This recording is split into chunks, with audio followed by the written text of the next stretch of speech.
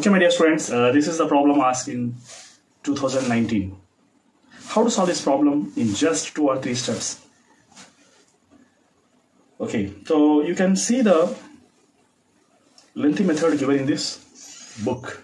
But how can you solve in just three or four steps?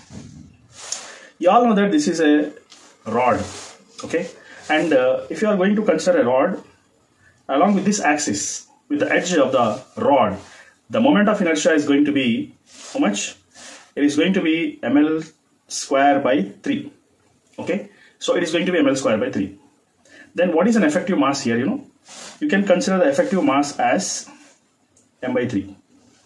So I have taken the effective mass as m by 3. And these two springs are having spring constant k and they are connected in parallel. So k effective is going to be k plus k, uh, that is going to be 2k. That's it. You just apply the time period formula. It's a general formula, natural formula. That is t is equal to 2 pi root of m effective by k effective. That's it. Over. Your work is done. Finish.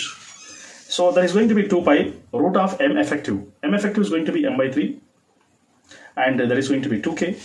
That's it. Your work is done perfectly. m by 6k. So this is time period. But he's asking us to find out the frequency. Just you make the reciprocal of time period, then directly you are getting this answer. Is it not a wonderful method? Hope you have enjoyed this method. Thank you very much. Have a nice day. For this type of shortcuts, you just comment below.